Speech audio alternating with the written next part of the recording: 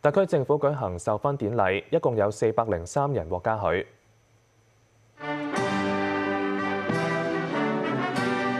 授勳儀式喺禮賓府舉行，大紫荊勳章。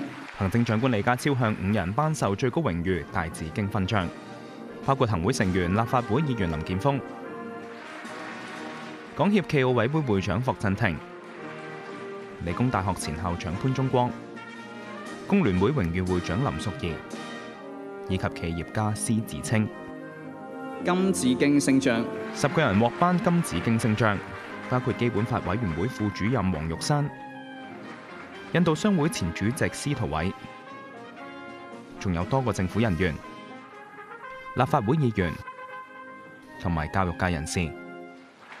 而獲頒銀紫荊星章嘅二十八人，包括前入境處處長歐家宏、鄉議局主席劉業強、高等法院原訟法庭前法官黄崇厚等等。今次獲授勳嘅亦都有嚟自新聞界，包括獲金紫荊星章嘅資深傳媒人陳淑薇。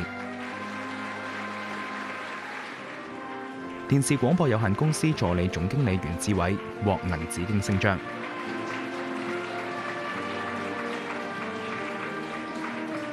另外四十一人就獲銅紫荊星章。